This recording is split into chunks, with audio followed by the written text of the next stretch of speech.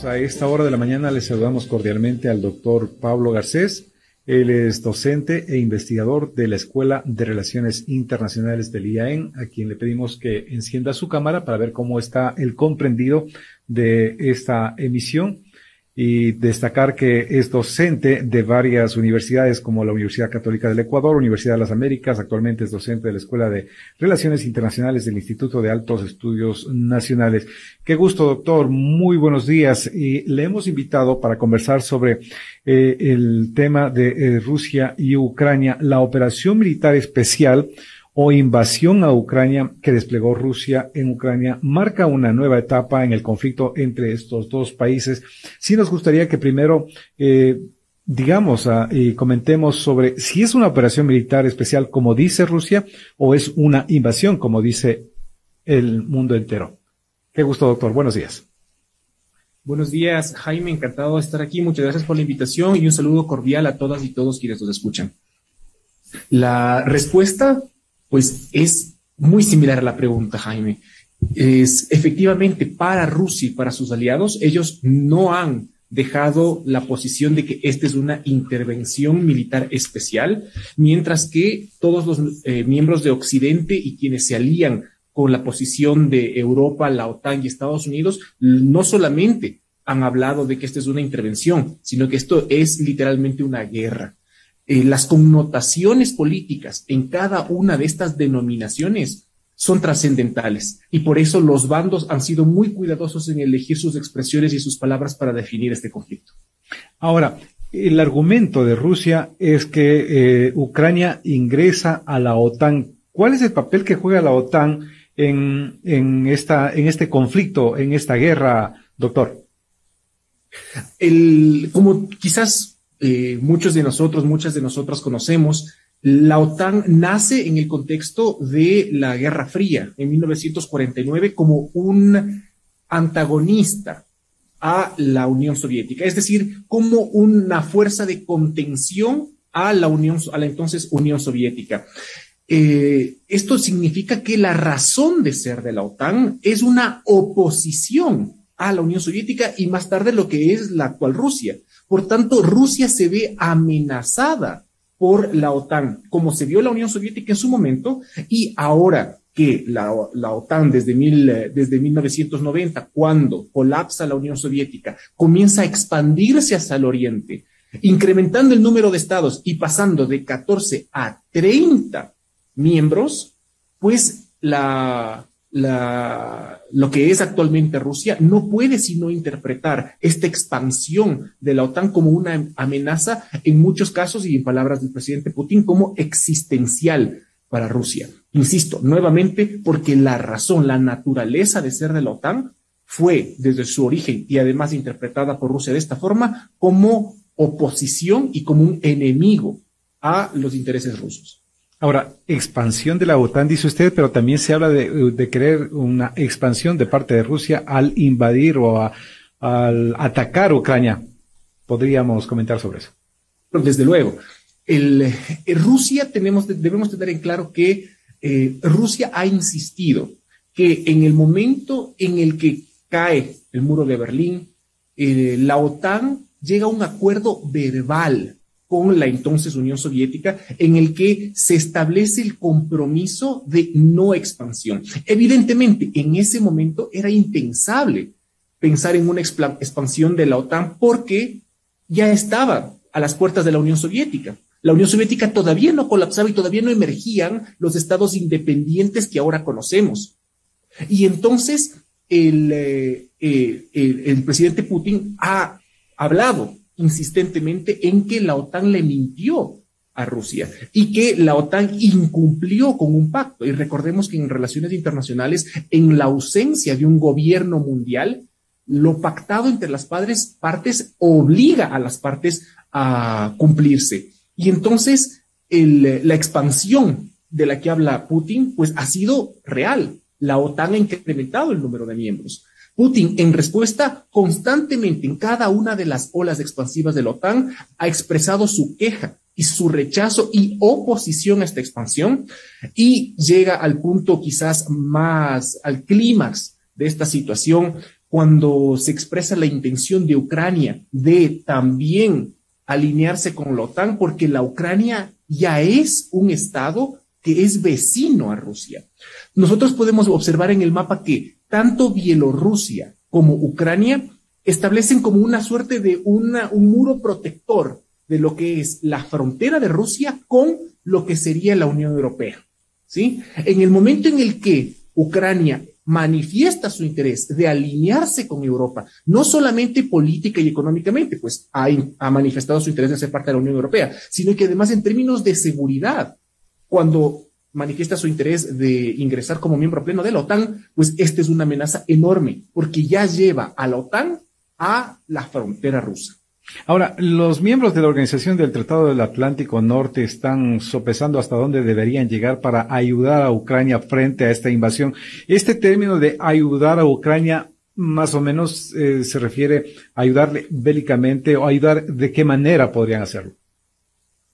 La OTAN ha visto con buenos ojos la intención de Ucrania de, ser un país pleno, eh, con membresía plena en esta organización. Eh, evidentemente, tienen que pasar muchos procesos, pero el, interés manifiesto en el ejercicio de la soberanía del Estado, pues ha sido bien visto por, por la OTAN. El problema es justamente la oposición que tiene Rusia al respecto. Como respuesta y para manifestar, para enviar la señal al mundo y a Rusia sobre todo de este, esta alineación con Ucrania, la ayuda ha sido, por un lado, desde luego, ha sido económica, eh, por parte de los países miembros, ya en calidad individual de los países miembros de la OTAN, pero también ha sido en materia bélica, no con tropas, porque esto señalaría ya una intervención mucho más fuerte, sino que ha sido mediante el envío de armamento y de instrumentos militares que le permitan sostener una defensa como lo ha hecho hasta ahora Ucrania. Ahora, ¿qué papel está jugando al momento, tal como están las cosas, la Unión Europea y también Occidente, doctor? Eh, tienen dos papeles en este momento, más allá del, militar, como hemos señalado. Por un lado tenemos el papel político y por otro lado tenemos el papel económico. Si es que vemos el papel político, nosotros eh, podemos observar la semana pasada cómo el presidente Zelensky de Ucrania ya solicitó en un discurso muy apasionado la membresía en la Unión Europea y además insistió en que esta membresía eh, sea pues aceptada con agilidad porque los valores de la Unión Europea estaban en juego en el conflicto de Ucrania. Eh, la Unión Europea ha respondido positivamente. La presidenta de la Comisión Europea incluso ha hablado de que, muy, en términos muy fuertes diplomáticamente, ha dicho que Ucrania es uno de ellos, es decir, es uno de Europa. Y por tanto, ha enviado una señal muy, muy fuerte del respaldo político que tiene no solamente Ucrania, sino la intención de Ucrania en ser miembro de la Unión Europea. Por otro lado, en términos económicos, eh, Occidente ha, implementado, como sabemos quizás todas y todos, importantísimas, sin precedentes sanciones a Rusia en términos económicos, eh, principalmente orientadas hacia los oligarcas rusos, quienes en principio se entiende eh, sostienen y apoyan el gobierno de Vladimir Putin, pero también sanciones dirigidas con nombre y apellido a Vladimir Putin y a su ministro de Relaciones Exteriores, Lavrov. De esto se menciona y se destaca que podría salir beneficiado China o cuál es, cuál es el papel que está jugando China en este, en este conflicto. El rol de China es, es eh, fundamental en este conflicto y potencialmente clave para una resolución eh, pacífica.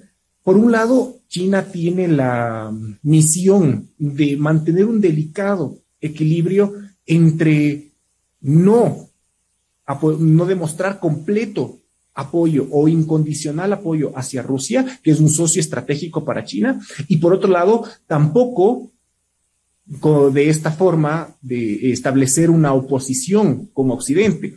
China ya tiene, recordemos, una delicada y antagónica relación con los Estados Unidos y para China es fundamental mantener una relación eh, amigable con, con la Unión Europea. Por tanto, si es que se aliara plenamente con Rusia, implicaría un distanciamiento con la Unión Europea. Y entonces este equilibrio es muy delicado de lo que intenta realizar China. Sin embargo, hemos visto esta suerte de ambigüedad en las manifestaciones de la política exterior china, cuando por un lado mantiene eh, la posición de Rusia diciendo que es una intervención y en el Consejo de Seguridad de las Naciones Unidas se abstiene en condenar los actos rusos, pero por otro lado también ha insistido en la importancia de garantizar la soberanía de Ucrania.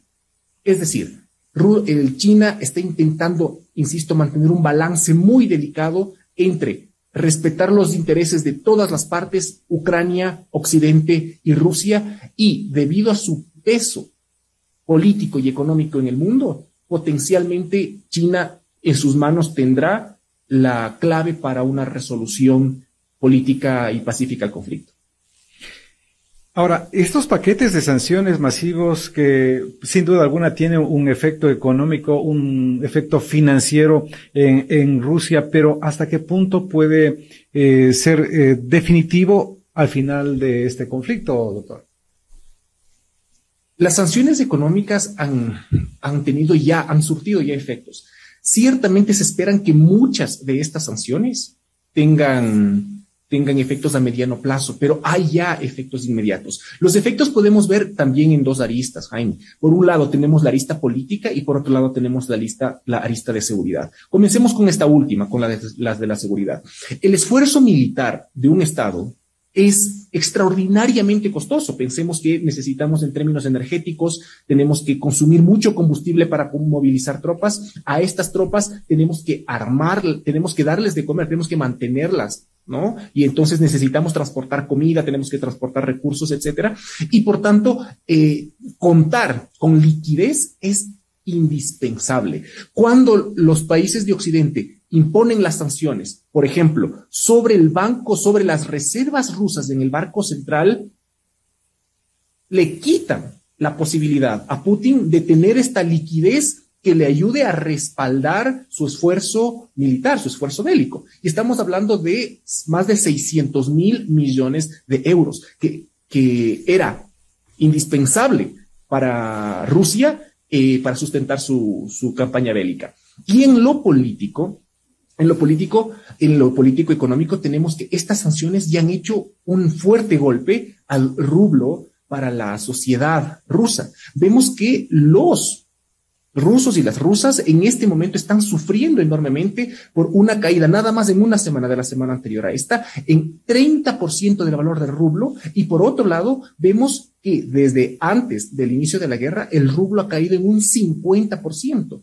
Las personas están corriendo a sacar sus fondos de los bancos rusos, lo que pone en riesgo el sistema financiero de Rusia, porque podría incluso en el extremo, y esto todavía no se verifica desde luego, pero podría causar una corrida bancaria. Quizás todas y todos sabemos lo que eso puede implicar con la experiencia del 2008 con la crisis financiera de Estados Unidos, ¿no es cierto? Entonces, esos dos efectos ya están ejerciendo presión sobre la decisión que ha tomado el presidente Putin en esta campaña bélica. Ahora, respecto a los pronunciamientos que hacen los organismos internacionales, particularmente Naciones Unidas, hizo un pronunciamiento al cese al fuego. Eh, ¿Qué tanta repercusión pueden tener la presencia de estos organismos, doctor? Siempre es una presencia más bien relativa, es un mensaje simbólico y en algunos casos eh, siempre político, pero en algunos casos eh, nada más para demostrar, demostrar quizás la unidad que existe dentro de los miembros de Naciones Unidas y para señalar, para identificar cuáles son aquellos países que quizás no están alineados con ciertas posiciones. Hemos visto quizás en redes sociales muchas y muchos de nosotros cómo han circulado estos, estas fotografías de los países que han votado a favor, en contra o se han abstenido de condenar a, el esfuerzo ruso en su campaña por intervenir en Ucrania. Y entonces es más bien un ejercicio de presión política que en última instancia, dependiendo del Estado al que se intente presionar, puede tener mayor o menor efecto. Dado la experiencia y el registro histórico, nosotros podemos esperar que esto pues tenga muy poco efecto en el caso ruso. La semana pasada había conversaciones para que exista un corredor humanitario y lamentablemente falló. Y lo que se ha generado en las últimas o, en las últimas horas habla de que Rusia ha anunciado que cesará los combates el día de hoy martes en algunas de las ciudades más castigadas para permitir la evacuación de civiles a través de corredores humanitarios. Esto generalmente eh, suele respetarse al final de al final de los días, como se dice, doctor. Mire, Jaime, e insisto en este concepto básico que mencioné hace un minuto a propósito de otra pregunta suya. En relaciones internacionales, en la ausencia de un gobierno, de una autoridad central que pueda, mediante la coerción, ¿no es cierto?, obligar a que las partes respeten lo acordado, son las partes mismas las que tienen que auto-obligarse a respetar lo, lo que conviene, lo que acuerdan. En principio, serían en este caso Rusia y Ucrania quienes deberían auto-obligarse a respetar los corredores humanitarios, precisamente porque por las razones de ética mayor que implica una crisis humanitaria.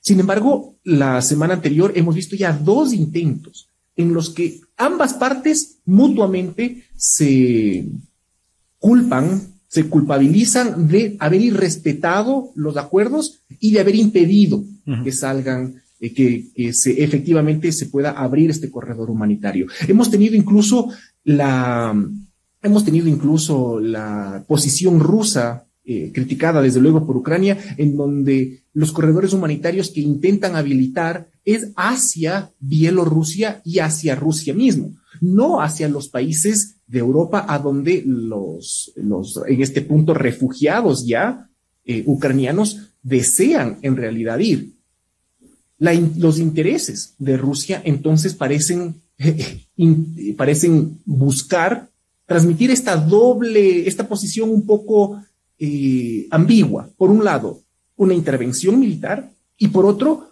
buscan consolidar el mensaje de que no están atacando civiles. Tanto no están atacando civiles que incluso abren corredores militares para que los civiles vayan y les ofrecen refugio en Rusia o en Bielorrusia, que son los países desde donde se emiten los ataques. Esto ha sido rechazado desde luego por, por Ucrania y creo que esto es una de las principales razones por las cuales el esfuerzo por crear corredores humanitarios ha sido fallido. Las partes no se ponen de acuerdo hacia cuáles deberían ser los destinos de estos corredores. Vamos finalizando ya, doctor. Tal como está la situación, tal como están los respectivos pronunciamientos de los dos gobiernos, tanto de Rusia como de, Ucrania, ¿qué salida existe o cómo le ve usted una salida, a, no sé si a corto o a largo plazo? Creo que es importante tener presente la complejidad del escenario en el que nos encontramos, del conflicto, Jaime, y Presumiblemente creo que si bien no podemos avisorar a este punto cuál será la solución, por lo menos podemos avisorar que quizás tres aristas, cuatro en esencia, serían las aristas en las que se estarían jugando o se estarían negociando los resultados. Por un lado, en el aspecto político, podemos ver que Rusia estaría anhelando, si es que, y este es un gran si es que, se mantuviera el gobierno de Zelensky, que no sería en ningún caso la prioridad o la preferencia rusa, que Zelensky abandone, aunque sea temporalmente, sus intereses de vincularse a la Unión Europea o de asociarse con la OTAN. En, lo, en materia de seguridad, Rusia va a demandar que la frontera de la frontera de Ucrania hacia el oeste esté libre de la presencia de tropas de la OTAN y más aún de armas de, la OTAN. Esto, desde luego, sujeto a negociación. En materia económica, Jaime, es importante recordar que los territorios que han sido en este momento invadidos por Rusia no son coincidencia. Estos territorios no son solamente estratégicos geopolíticamente, sino que además son estratégicos económicamente porque se han detectado grandes reservas de crudo. Y Recordemos también que Rusia es una economía predominantemente energética, como uno de los principales exportadores de gas y de crudo. Por tanto, estos, estos territorios son de particular interés en materia económica para Rusia y esto también sería importante tener presente en la negociación. Y finalmente, en materia geopolítica, nosotros vemos que los territorios que han sido en este momento invadidos, pues tienen una gran y mayoritaria presencia rusa, eh, que ha ha favorecido, tanto en Crimea como en Donetsk y Luhansk, han favorecido un ingreso eh, sin problemas del ejército ruso y potencialmente Rusia estaría también negociando una presencia permanente, si no una anexión de estos territorios. Y como lo he dicho ya, parte de la negociación es el reconocimiento internacional de Crimea como rusa. Listo, con eso nos quedamos. Muchas gracias, doctor. Gracias a ustedes también, siempre un gusto. Que tengan buen día. Gracias al doctor Pablo Garcés. Eres docente e investigador de la Escuela de Relaciones Internacionales del IAEN.